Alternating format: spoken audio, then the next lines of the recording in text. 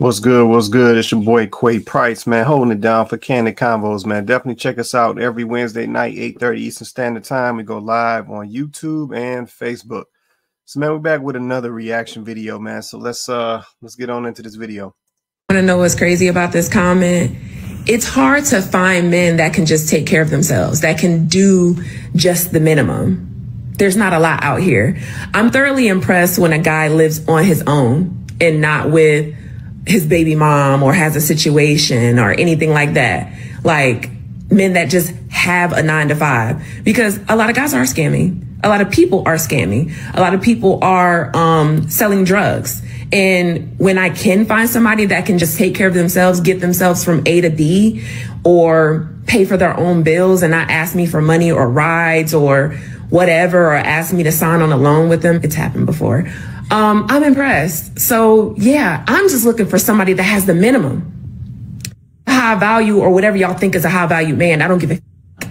I just want somebody that can take care of themselves in this dating world. And that is too much to ask for. It is. Interesting, interesting, interesting, interesting. Man, let me say this, man. Um, this young lady needs to do a better job of selecting men this young lady also needs to do a better job of where she places herself. And this is the thing, man. Listening to to what the young lady is saying, um, in my opinion, you shouldn't even be interacting or you shouldn't even be encountering um, these types of men. Where are you placing yourself? Where what are you putting out? What is your energy? What's your vibe? Yeah, you're talking about having to, to sign loans. You're talking about, you know, finding the guy who can take care of himself. Man, there's plenty of men out here who can take care of themselves. They work a job every day. They pay their bills. They're self-sustaining. Yet they don't need women to take care of them, if you will. So I'm trying to understand why are we having such a hard time finding these guys? They're everywhere.